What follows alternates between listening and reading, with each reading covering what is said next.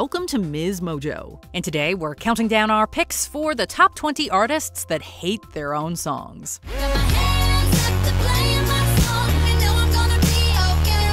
For this list, we're looking at any tracks that musicians have reservations about. Whether they're sick of playing them or regret writing them, the artists don't take kindly to these hits. Did we forget one of your favorite songs that performers hate? Let us know in the comments below. Number 20, Vanessa Carlton, A Thousand Miles. A massive debut single can be a gift and a curse. This was especially the case for Vanessa Carlton, who turned into an overnight success with A Thousand Miles. And I need you, and I miss you, and now I wonder. Carlton created many follow ups since that early 2000s hit, but none of them had the same lasting impact as this track. The singer grew to resent and even hate the song as she was continuously asked to play it over her other music. After years of touring, the performer changed her tune about her masterpiece. The irony of the song is that there's something about it that is so unifying.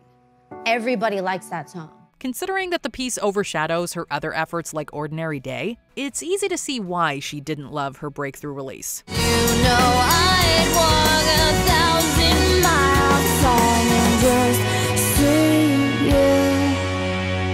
Number 19, Chrissie Hynde, Brass in Pocket. The Pretenders were one of the highlights of the new wave era. Singer Chrissie Hynde co wrote many of the group's most well known and successful tracks, including Brass in Pocket.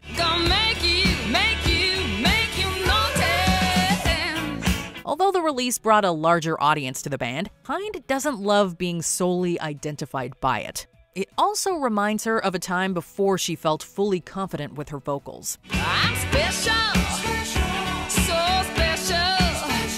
On top of that, there was a time when she didn't even want it set free at all. She was ultimately persuaded to let the song out for the general public. All of her trepidation didn't stop the tune from rising on the US charts and becoming a radio hit.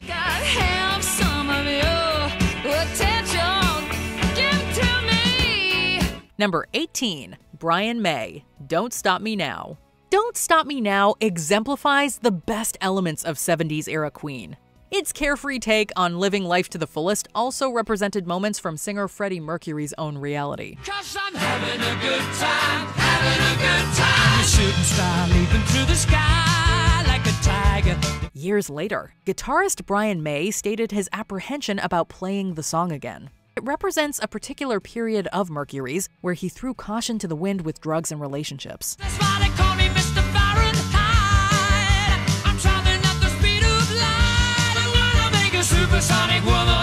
His experimental days inspired one of his best compositions, but May felt it could be irresponsible to encourage that lifestyle.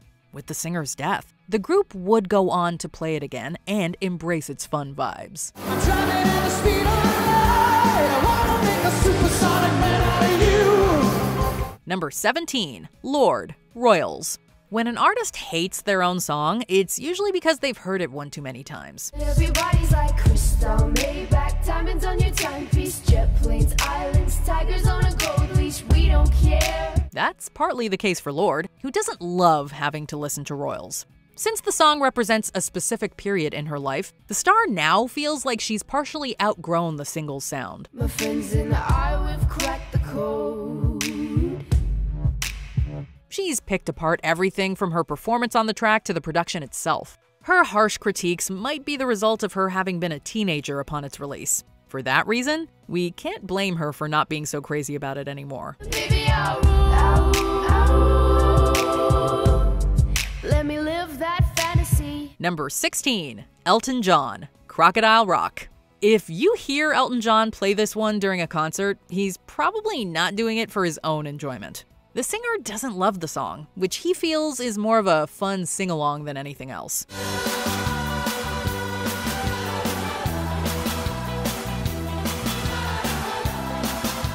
Lyricist Bernie Taupin even mentioned that it isn't even the kind of song he would personally enjoy.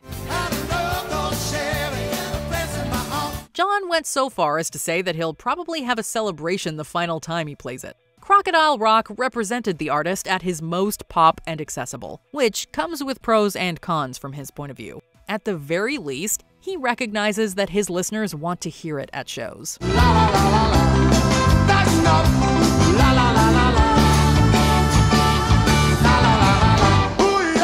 Number 15, James Blunt, You're Beautiful. As a true time capsule from the year 2005, James Blunt's You're Beautiful has its fair share of fans and haters. My love is pure. I saw an angel. Of that I'm sure. The ostensibly sentimental love story stands as a decade defining hit that some felt sick of listening to over and over. Polls and commentators noted that the piece was among the most annoying of its kind. You're beautiful. You're beautiful. You're beautiful. It's true. One of these critics was Blunt himself, who came to recognize that the song was maybe too ubiquitous for its own good. The gifted songwriter, who enjoyed years of goodwill from the track, admitted that radio stations went overboard with playing it. I will never be with you. Number 14, Liam Gallagher, Wonderwall. Never one to mince words, former Oasis lead singer Liam Gallagher really doesn't like Wonderwall. Today is gonna be the day that they're gonna throw it back to you. Despite its importance in his music career, the performer says that singing it makes him sick. The song has become an anthem for people in and out of the UK regardless. It was so big that Gallagher even performed it at the London Olympics with his other band Beady Eye.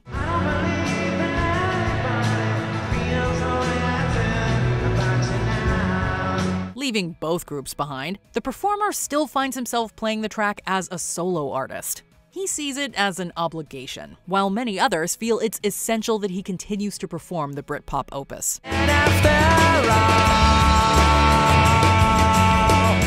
you're my wonderwall. Number 13, Mandy Moore, Candy. As an actor and singer, Mandy Moore excelled far beyond the confines of teen pop stardom. This could be part of the reason she doesn't love looking back at her hit song Candy. Can't do without it. This feeling's got me weak in the. The debut single introduced the 15 year old star to the world, but she's had more time to properly reflect on it in the decades since. The This Is Us star also said that, if possible, she would even offer refunds to everyone who bought her initial releases. Sugar Considering her later and more refined work in projects like Tangled, Moore achieved far greater heights than Candy. Number 12, Frank Sinatra, Strangers in the Night. Most fans of Frank Sinatra would place Strangers in the Night among his greatest selections. Strangers in the night, exchanging glances, wandering in the night. Decades of performing a fan favorite can wear down even the most elite singers, though. This track especially drew ire from Old Blue Eyes, who did not hold back his disgust for the tune. Two lonely people, we were strangers in the night. Not only did he dislike the song, he openly dissed it during concerts. No one should have put a hot mic near Sinatra unless they wanted to hear the absolute truth. Strangers in the Night might be your grandparents' favorite tune, but it definitely wasn't this performer's first choice. If anybody earned the right to despise one of his hits, it was this singing legend. Two strangers in the night. Number 11, Billy Joel, We Didn't Start the Fire. Billy Joel had his fair share of classic hits from the 70s and 80s. Near the end of his successful recording run, he released one of his last big tracks, We Didn't Start the Fire. Eisenhower vaccine. England's got a new queen. Contrary to most of his other songs, this one involved an unorthodox writing process. He wrote it with the lyrics in mind and left the music as an afterthought, leading to a lackluster melody. Building Berlin, Bay of Pigs invasion. Most of the verses feature monotonous musical choices that Joel never felt particularly proud about. Other than the catchy trip through 20th century history, this piece works as more of a novelty for the singer songwriter.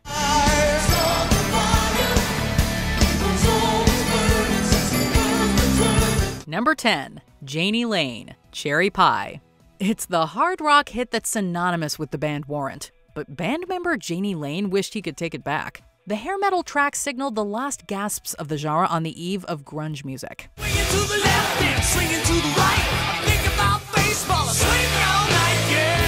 According to Lane, the record label pressured him to write a big single to sell their record. Swing it in there, cause she wanted me to beat her, so I mixed up the batter and she left the beater. He didn't have much time to deliver the song, which became an innuendo laden story about anything but pie. The singer didn't appreciate that a last minute writing job became his most famous statement. Cherry pie sure is catchy, but we can understand the writer's frustrations with it becoming his legacy.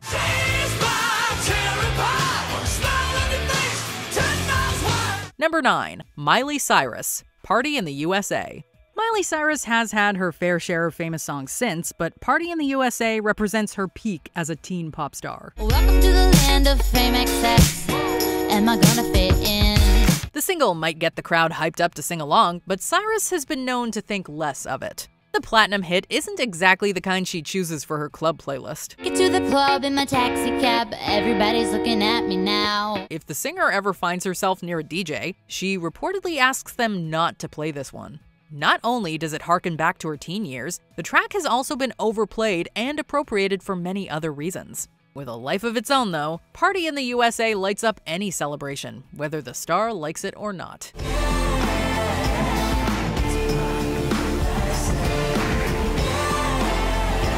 Number 8. Bob Geldof. Do They Know It's Christmas? Musician and activist Bob Geldof co wrote this charitable venture with Midge Ure, as well as organized the subsequent Live Aid concert. There's no time to be afraid. It's Christmas time. The holiday track raised funds for the Ethiopian famine, but failed to impress Geldof on a quality level. If it had been a one off single that was never played again, he might not have developed such a distaste for the song.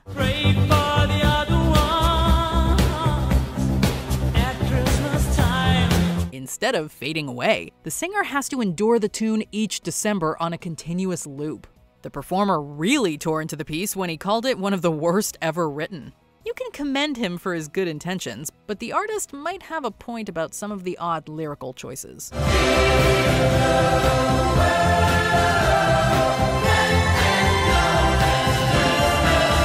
Number 7. Pete Townshend, Pinball Wizard. A centerpiece of The Who's rock opera Tommy, Pinball Wizard doesn't stand high among Pete Townshend's list of favorites. Ever since I was a young boy, I played the silver ball. From Soho down to Brighton, I must have played them all. The band's chief songwriter would rather not play the classic anymore, but he often indulges concertgoers with it. Going on to write many other worthy singles, Townshend prefers almost any of the other tunes he's written for the band.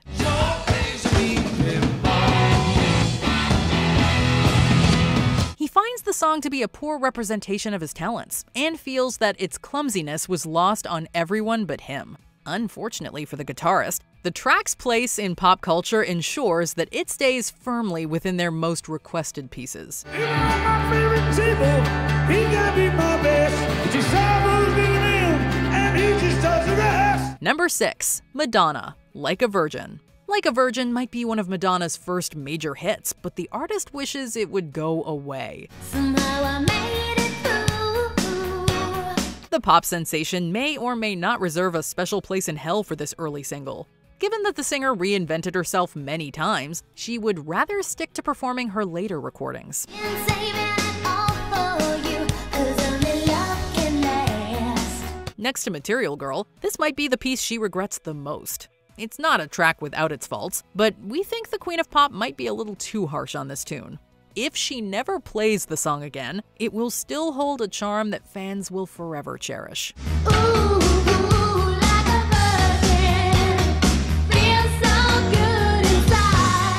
Number 5. Robert Plant, Stairway to Heaven.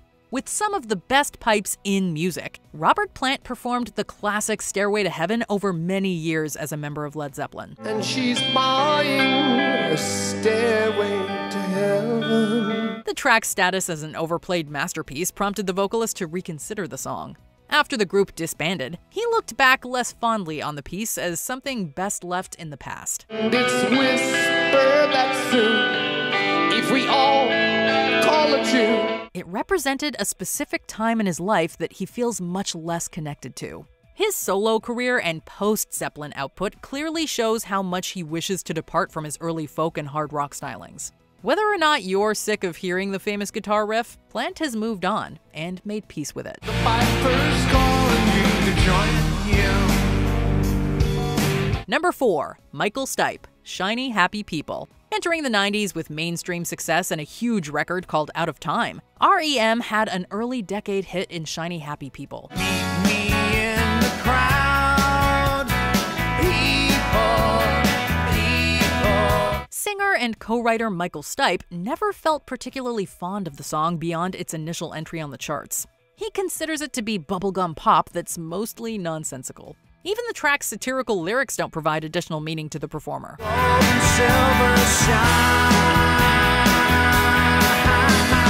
Stipe doesn't hate all of the pop rock that the group created during that period, but this particular single sticks in his craw. Shiny Happy People definitely signifies one of the most debatable REM releases.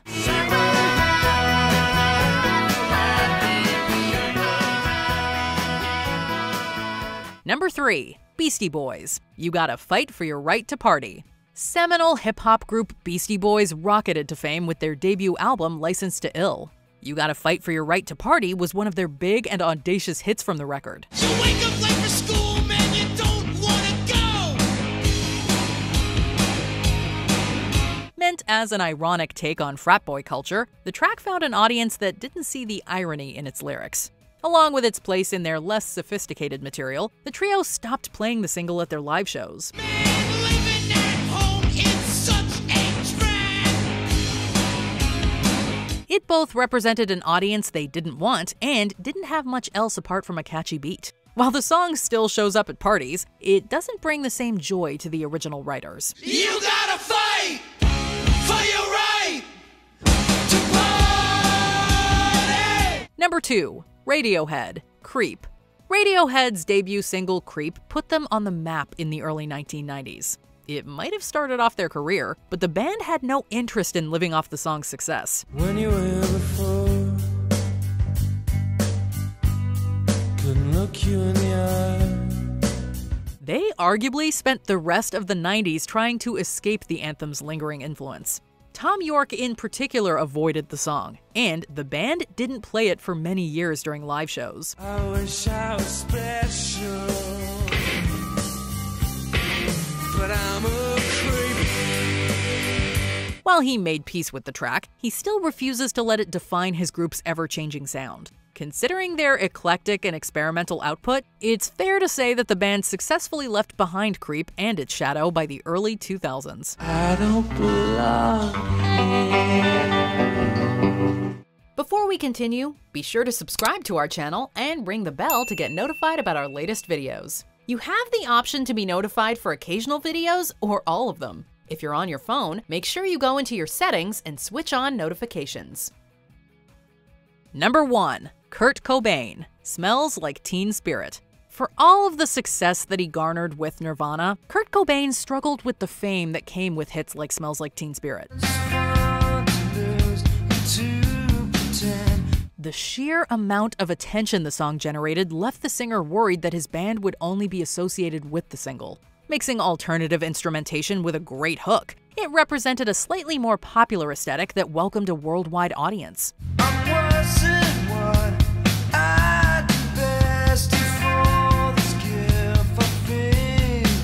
Cobain worried that his anti establishment and punk background was being stifled with the track's high chart placement.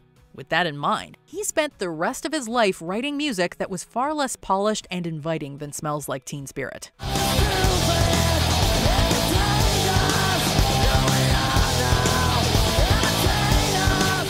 Do you agree with our picks? Check out this other recent clip from Ms. Mojo. And be sure to subscribe and ring the bell to be notified about our latest videos.